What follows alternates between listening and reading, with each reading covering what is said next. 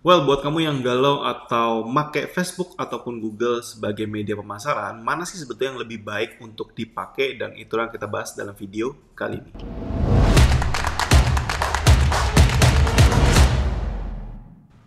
Hai, kembali lagi bersama saya Niko dari upgrade.id, tempat Anda belajar digital marketing, digital teknologi, dan digital otomatisasi untuk bisa mengembangkan omset bisnismu. Nah, topik kita hari ini sebetulnya bicara tentang mana sih yang lebih bagus antara Facebook Ads atau Instagram Ads gitu ya, ataukah kita pakai Google Ads sebetulnya. Jadi, uh, untuk menjawab hal ini sebetulnya saya pribadi ya, uh, jawaban pendeknya buat saya sih tergantung gitu ya. Tapi tergantung apa? Sebetulnya itu yang harus kita juga cermatin dulu gitu ya. Jadi yang saya mau uh, sebetulnya harus kita tanya gitu ya dalam part ini ya bisnis Anda sendiri gitu ya. Kira-kira entah itu personal brand, entah itu bisnis brand gitu ya. Mana yang lebih better? Apakah impulse, apakah itu interest base? Jadi ini sebetulnya yang yang titik yang menurut aku pribadi akan krusial banget untuk dijawab terlebih dulu sebelum kita menentukan both keduanya.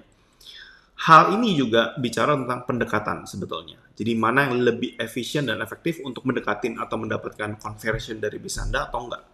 Maksud dari impulse atau interest itu apa sih gitu ya? Impulse itu bicara tentang kalau orang sekiranya hmm, kira-kira jalan di depan kita gitu ya, kemudian kita tawarin produk atau bisnis kita atau jasa kita misalnya, apakah orang akan beli saat itu juga?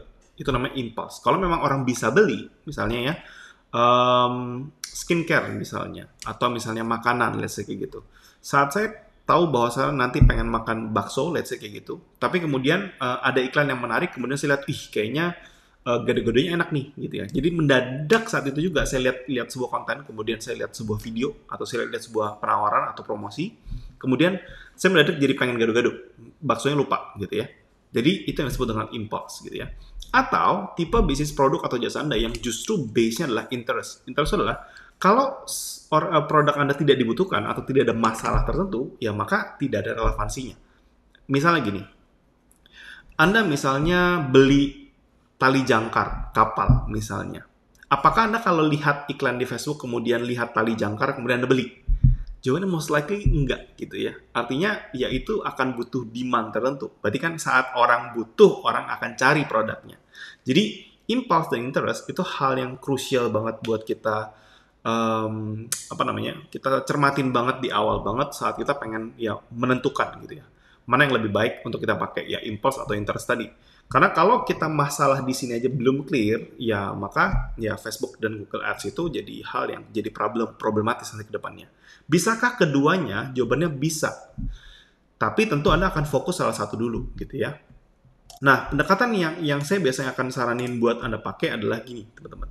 Jadi bicara tentang impulse intent dan juga interest intent, ya kalau impulse maka Anda bisa fokus pada social media marketing basically gitu ya. Kenapa? Karena akuisisi konsumen itu cepat perlu cepat banget gitu ya.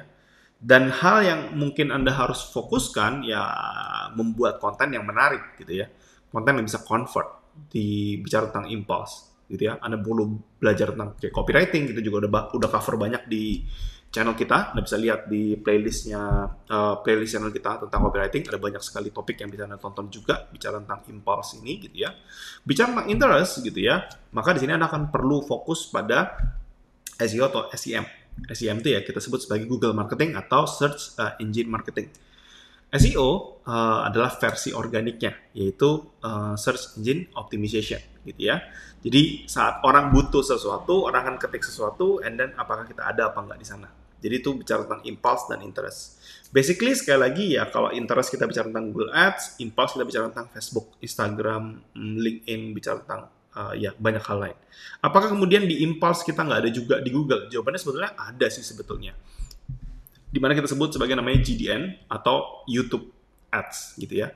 Itu juga sifatnya lebih ke impulse. Jadi uh, tendensi simpelnya adalah saat kita mungkin pernah ke sebuah website misalnya kayak di jadi impulse, kita bicara tentang impulse dulu ya. Impulse itu ada banyak uh, bentuk sebetulnya. Jadi misalnya saya ke Instagram, and then saya scrolling, scrolling, scrolling, scrolling, kemudian um, nanti akan muncul misalnya advertising kayak gini ya, sponsored gitu ya. Jadi ini visit Dubai kebetulan, gitu. Saya nggak tahu kenapa saya kena. Jadi intinya adalah ya ini ada sponsor ya iklan. Artinya saat saya di Instagram pengen lihat postingan-postingan siapa gitu ya. Kemudian ya saya lihat sponsor ini, ya ini yang disebut dengan impulse. Apakah kemudian jadi saya pengen ke Dubai? Ya itu yang yang yang kita lihat gitu ya. Sama juga di Facebook teman-teman. Jadi saat saya scrolling di Facebook feed gitu ya, kemudian anda bisa lihat ada sponsor gitu ya. Uh, ya itu iklan yang muncul. Apakah kemudian kita jadi klik iklan tersebut? Jawabannya ya it depends sekali lagi gitu ya.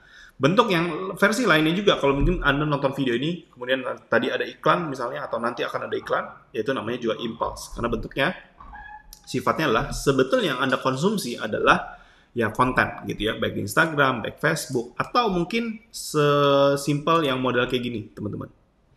Ya, Anda bisa perhatikan saat saya misalnya ke Kompas, saya pengen baca berita tertentu misalnya, saya pengen lihat apa sih yang lagi heboh sekarang misalnya gitu ya jadi terlepas dari um, banyak hal ini ya. Kemudian Anda bisa lihat di sini adalah ada Raps, uh, benar nggak sih? Saya baca Raps ya, online booking software. Di mana kalau saya arahkan ini adalah iklan oleh Google.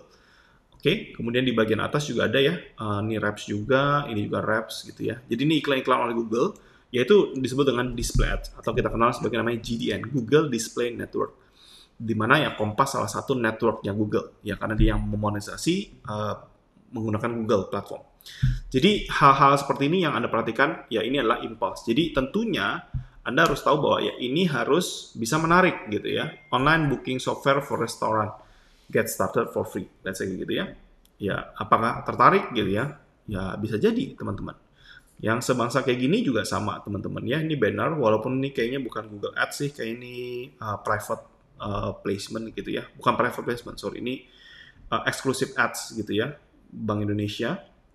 Di mana kalau Anda klik, ini kayak Google Ads juga ya, sorry ya. Jadi kalau saya perhatikan, saya arahkan ke bawah tuh ada Google Ads, teman-teman. Kalau teman-teman cermatin daerah sini ya, di bagian kiri bawah tuh ada, kalau saya arahin ada Google Leads Ads, itu berarti Google Ads, teman-teman. Ya, penghasilan dari Google, basically.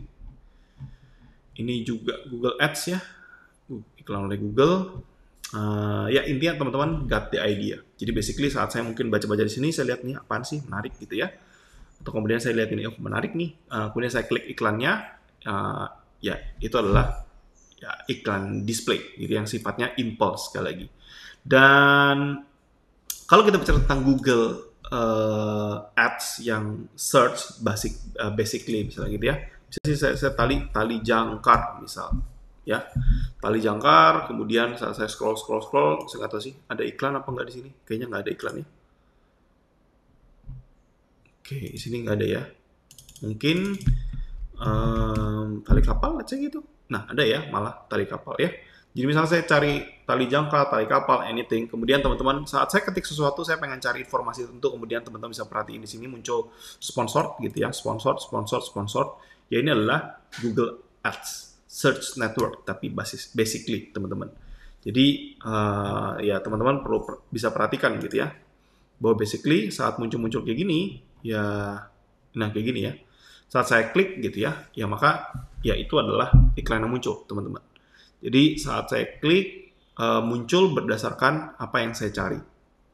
Nah basically kedua itu um, boleh dibilang ya perbedaan utamanya.